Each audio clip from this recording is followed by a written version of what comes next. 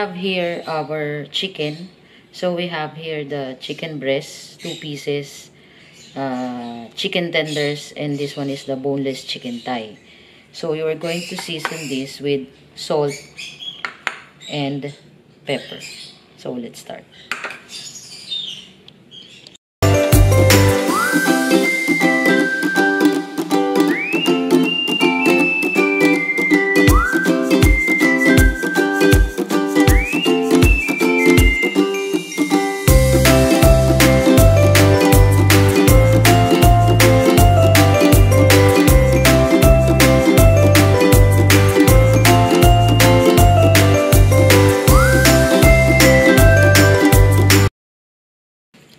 Now, for the breading mixture, you need panko breadcrumbs or Japanese breadcrumbs.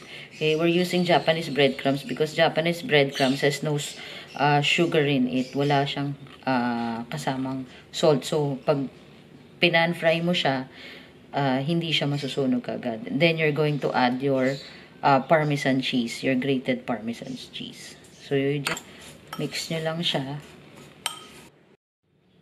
So, in breading your chicken, what you will be needing is uh, parmesan.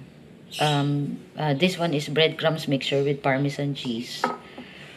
Two beaten eggs.